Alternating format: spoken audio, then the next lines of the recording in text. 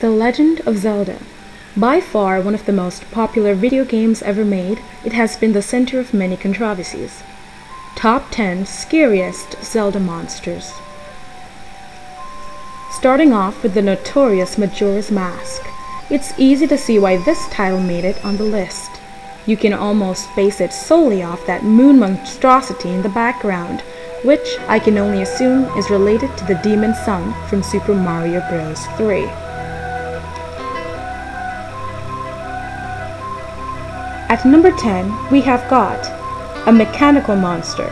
It is the boss of Snowhead Temple. It has the face of a human, the body of a bull, and a giant eyeball in its back.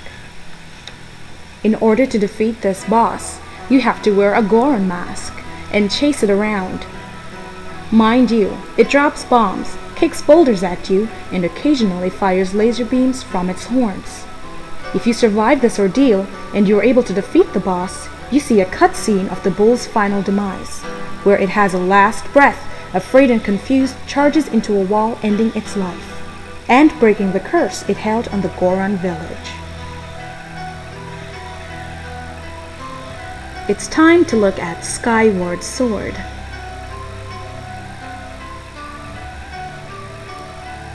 Coming in at number 9 is Koloktos, an empty armor brought back to life by Ghirahim.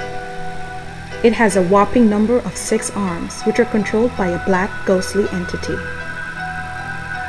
It has one opening containing its weak spot, which it protects with a pair of its many arms.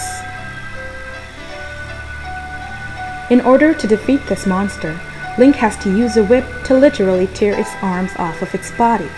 This leaves the monster's weak spot unguarded, so Link can attack its heart, or probably what's left of its soul.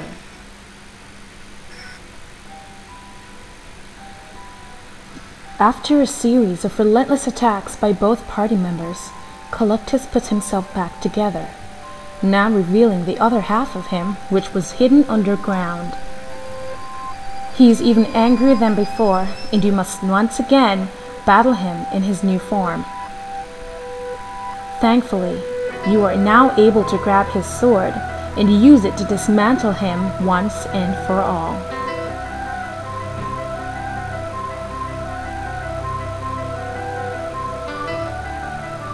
I think what's really scary here is the convulsions it makes when its life is ending.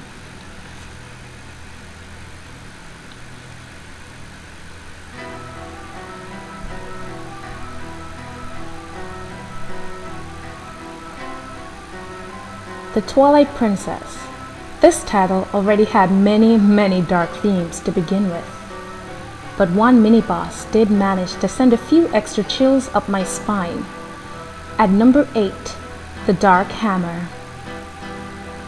What made this knight wielding a giant metal spike ball even more terrifying than before is that you were confined with it in a small, narrow cage. In order to defeat this fiend, you had to grapple hook over its head to attack its weak spot, which happened to be its tail.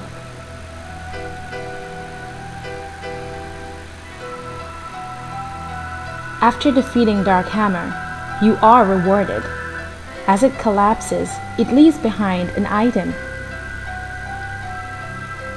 Link has now acquired the ball and chain item.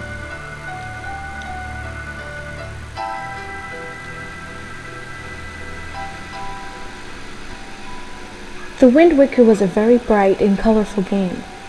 It did, however, still have its dark content as any other Zelda game did. At number 7, we have Gohdan.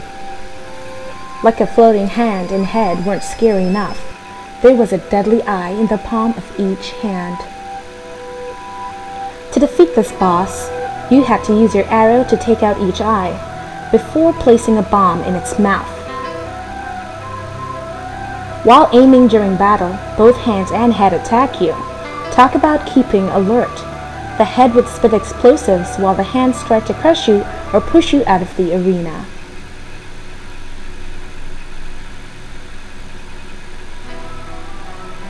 Upon completion of this boss, it reveals a hidden path.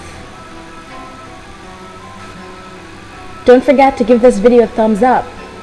And stay tuned for part 2 where we continue the countdown from 10 to number 1.